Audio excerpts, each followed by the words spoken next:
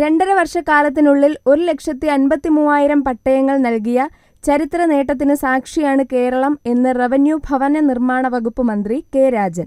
Arakkal Eroor smart village office കെട്ടിടങ്ങളുടെ നിർമ്മാണ ഉദ്ഘാടനം നിർവഹിക്കുകയായിരുന്നു അദ്ദേഹം.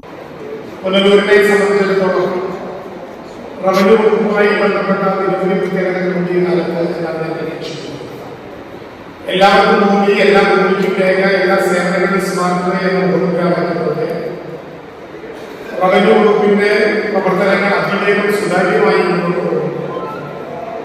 കേരളത്തിൽ എല്ലാവർക്കും ഭൂമി വിതരണം ചെയ്യാനുള്ള ലക്ഷ്യം പ്രവർത്തനങ്ങൾക്ക് അക്ഷരാർത്ഥത്തിൽ തുടക്കം കുറിച്ചത് ഈ പുനലൂരിന്റെ കൊല്ലം ജില്ലയിൽ ഈ മാസം പതിനാറിന് ജില്ലാതല പട്ടയമേള ജില്ലാ പഞ്ചായത്ത് ജെയിൻ സ്മാരക ഹാളിൽ സംഘടിപ്പിക്കുകയാണ്.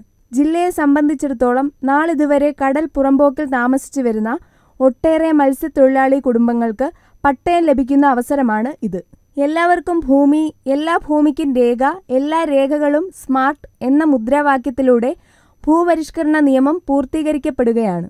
സംസ്ഥാനത്തെ വില്ലേജ് ഓഫീസുകൾ അടിസ്ഥാന വികസന പ്രവർത്തനങ്ങൾ നടത്തി പുതിയ സാങ്കേതിക വിദ്യയുടെ ഏകോപനത്തോടെ ആധുനികവൽക്കരിക്കുകയാണ്. വേഗതയേറിയതും സുതാര്യവുമായ നടപടിക്രമങ്ങൾ ഇതുറപ്പാക്കുന്നു എല്ലാവർക്കും ഭൂമി എന്നതിലൂടെ ഭൂരഹിതർ ഇല്ലാത്ത സംസ്ഥാനമാവുകയാണ് കേരളമെന്നും അദ്ദേഹം പറഞ്ഞു.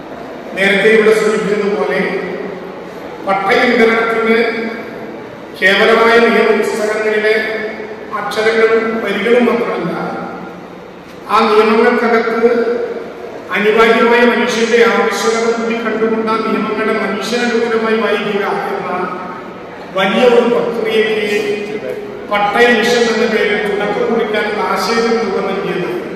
പ്രിയപ്പെട്ട ബഹുമാന്യനായിട്ടുള്ള എം എൽ എ ശ്രീ സുബാന്റെ നേതൃത്വത്തിൽ ഞങ്ങൾ എല്ലാവരും കൂടി ആലോചിച്ചതിന്റെ അടിസ്ഥാനത്തിലാണ് എന്ന് പറയുമ്പോഴാണ് കേരളത്തിൽ രൂപീകരിക്കപ്പെട്ട പട്ടയ മിഷനും അതുമായി ബന്ധപ്പെട്ട പ്രവർത്തനങ്ങൾക്കും ഏത് ആശയ രൂപീകരണത്തിനാണ് നമുക്ക് മതം കുറിച്ചത് എന്ന് കാണാൻ വേണ്ടി കഴിയും P S Subal M L A അധ്യക്ഷനായി ജില്ലാ collector N Devidas Anchal block panchayat president Omana Murali Edamulakkal panchayat president Aryalal Eroor panchayat president G Ajith A D M G Nirmal Kumar തദ്ദേശ സ്വയംഭരണ രാഷ്ട്രീയ കക്ഷി പ്രതിനിധികൾ തുടങ്ങിയവർ പങ്കെടുത്തു